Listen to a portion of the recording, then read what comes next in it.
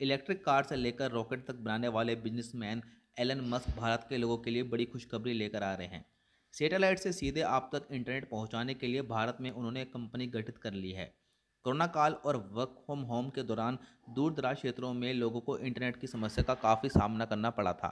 ऐसे में उन क्षेत्रों के लोगों को काफ़ी सहूलियत मिलेगी जहाँ पर ब्रॉडबैंड कनेक्टिविटी नहीं है या इंटरनेट स्पीड की गंभीर समस्या है।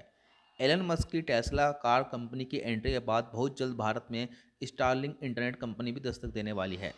Starlink internet company high speed satellite internet उपलब्ध करवाती है। भारत में इस सर्विस के उपलब्ध होने के बाद उन दूर दराज के इलाकों में भी हाई स्पीड इंटरनेट का लाभ उठाया जा सकेगा, जहाँ इस समय ऑप्टिकल फाइबर नेटवर्क उपलब्ध नहीं है। आइए इस रिपोर्ट में जानते हैं कि आगे सैटेलाइट से सीधे आप तक इंटरनेट कैसे पहुंचेगा।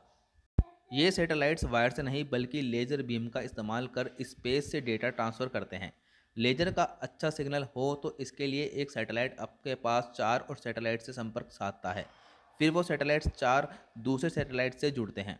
इस तरह आसमान में सैटेलाइट्स का एक नेटवर्क तैयार हो जाता है, जो ज़मीन पर हाई स्पीड इंटरनेट उपलब्ध करवाता है।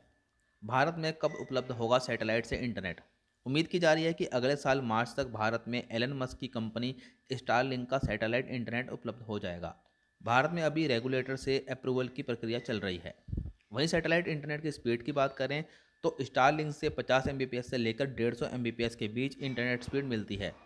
ये लो लेटेंसी इंटरनेट सर्विस है, जो सिर्फ़ 20 से 40 मिली का समय लेती है। ऐसे वीडियोज़ के लिए वीडियो को लाइक, शेयर, चैनल को सब्सक्राइब ज़रूर करें। धन्यवाद।